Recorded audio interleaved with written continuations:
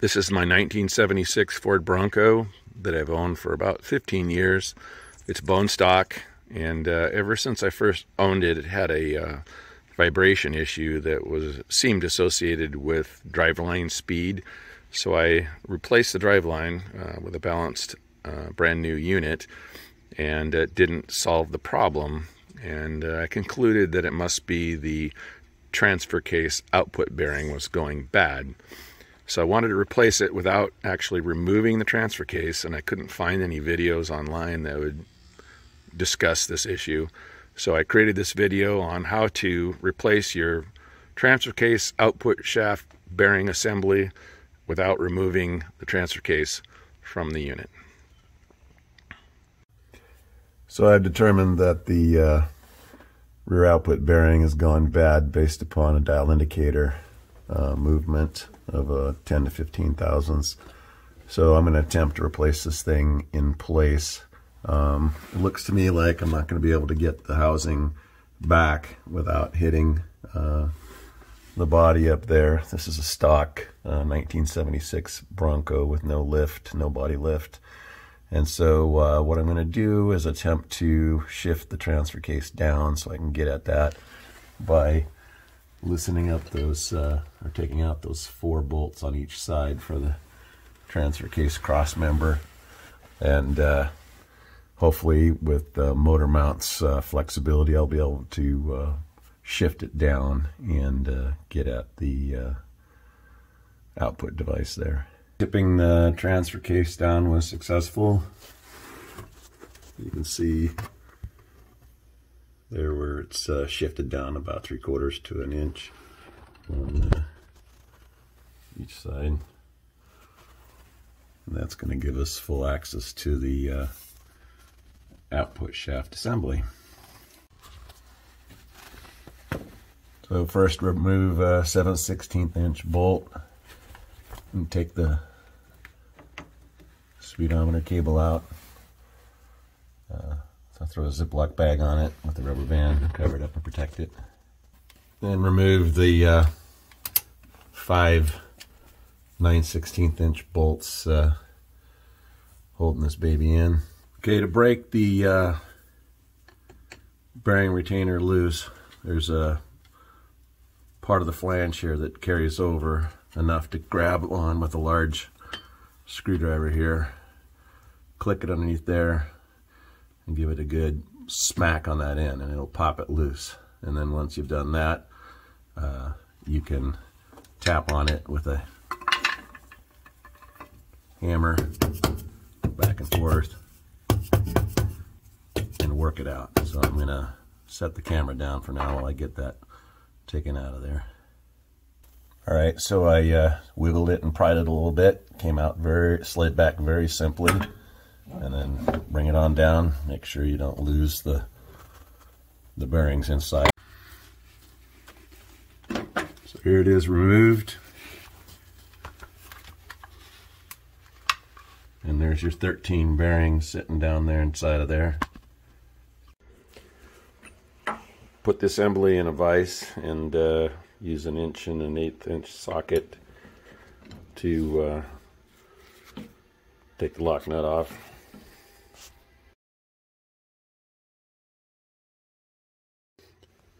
So to extract the shaft out with the bearing, it needs to be pressed out. I don't have a press, um, so I'm going to set it in these uh, old bearing rings here.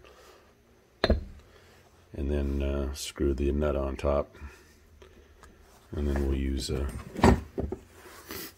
brass hammer here to tap it on out.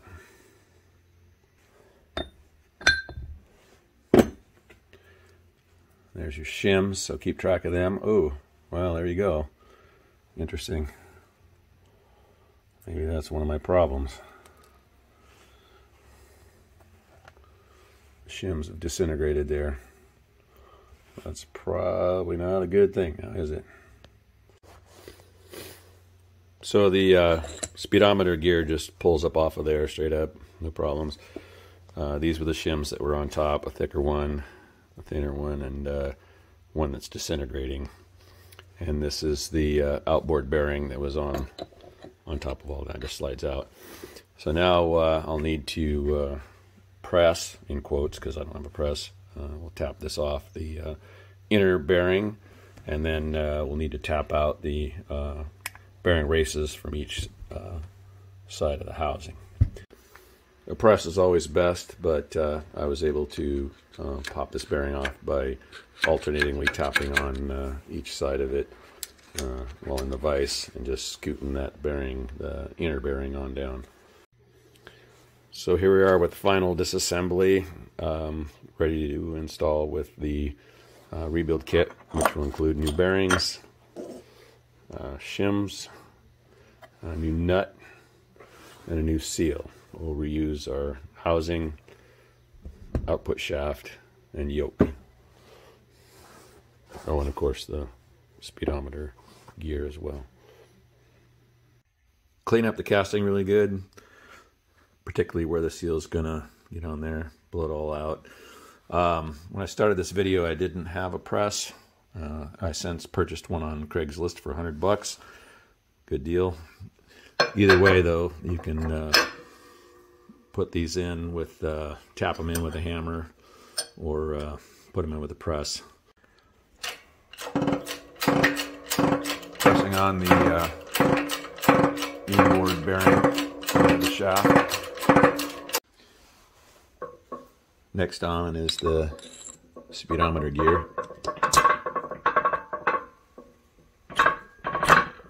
Doesn't need to be pressed on, it gets held in place by the pressure of the whole system when the yoke nut gets put on. Uh, note I have been, have been using some assembly lube uh, as I put this together and I'll also coat all the bearings when we get to that point.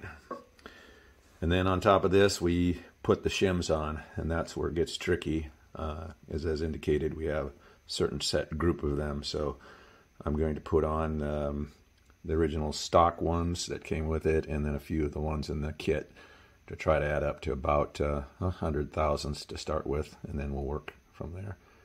Okay, I randomly selected uh, all three of the original shims I put in there, and then one 5,000th shim from the uh, kit that came with the products I bought. And then uh, you put the yoke back on, the bearing slides down pretty easily. So uh, you put the bearing in, put the yoke on, and then use your old nut, don't use the new one, and washer to uh, torque this down.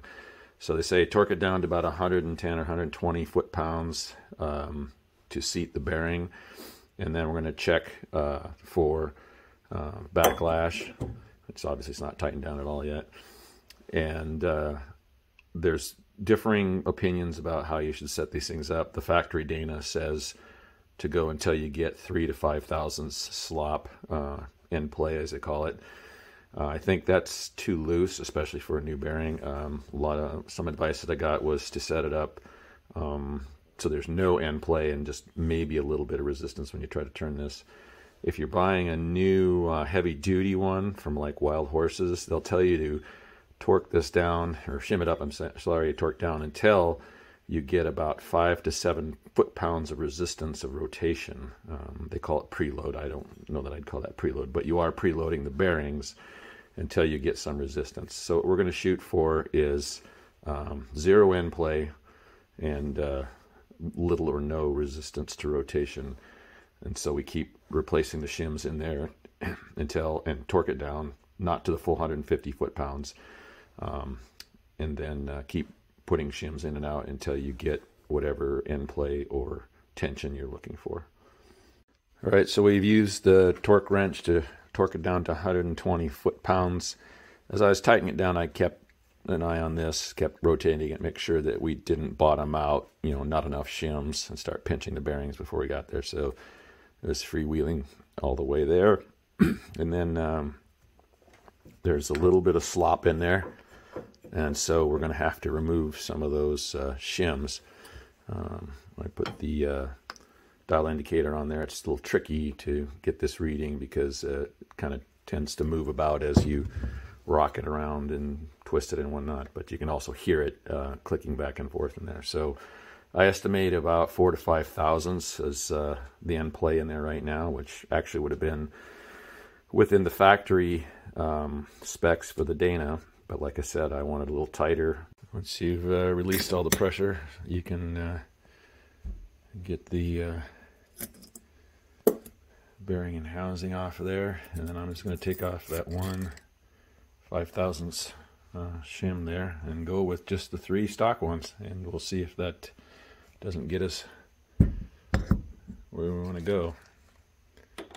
Well, it turns out that was uh, exactly what we needed. Uh, a little bit better setup here on my uh, dial indicator, and uh, it's firmly attached to the base housing, and you can see it's uh, in contact. And then uh, I take a screwdriver and pry here,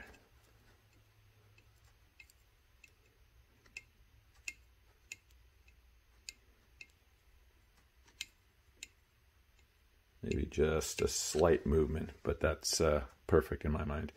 And then uh, rotationally, um, it has just a slight little bit of resistance to it, I think, not much. So I think we're right where we want to be, zero backlash. Press that guy in there, and then we'll put the yoke on and torque it down.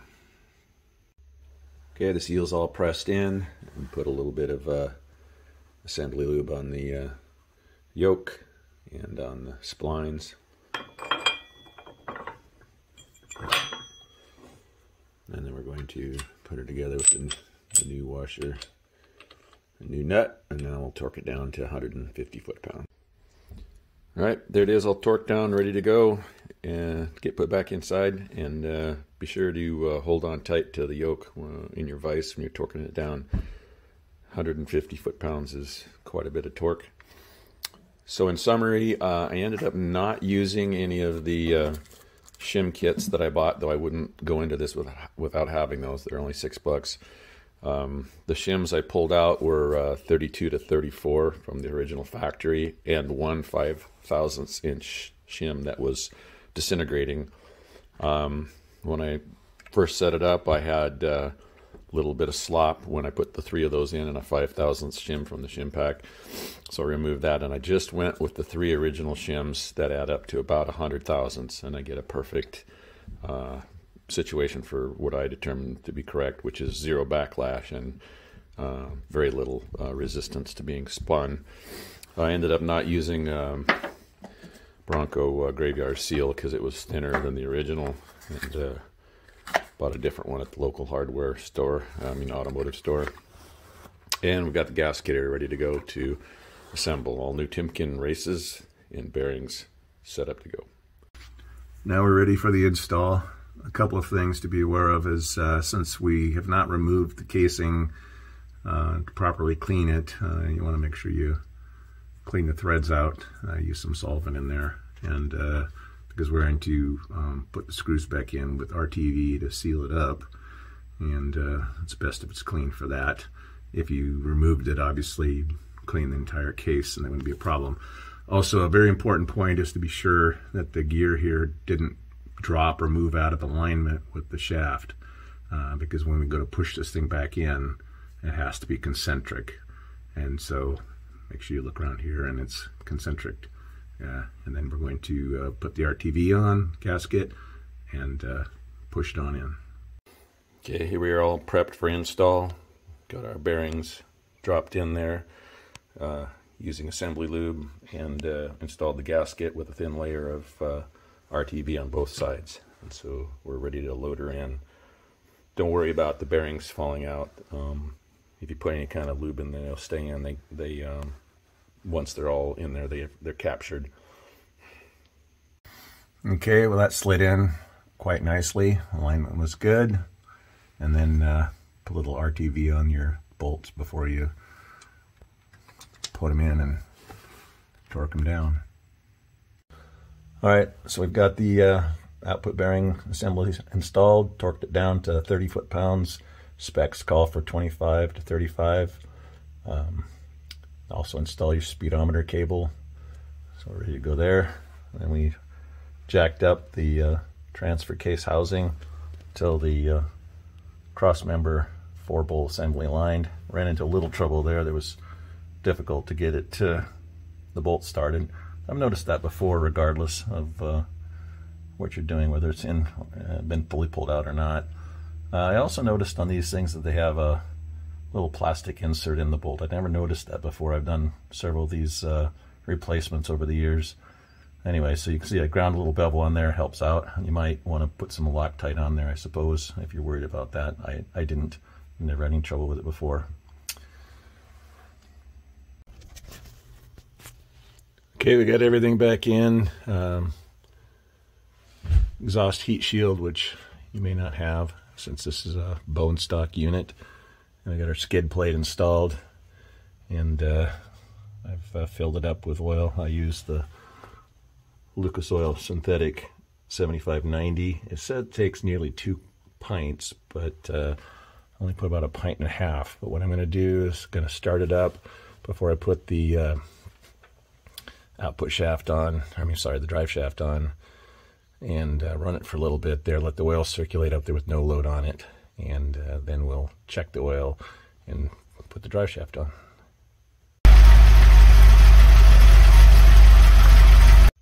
Okay, drive shaft installed, ready to go. Double checked the oil level. It was coming out of the fill hole, so got plenty in there. Now for the test drive. Much better has not entirely removed the resonant vibration, so there might be something going on in the rear end, but we are running 410s and at 55 miles an hour we're doing 2500 RPM, so I think the repair was a success.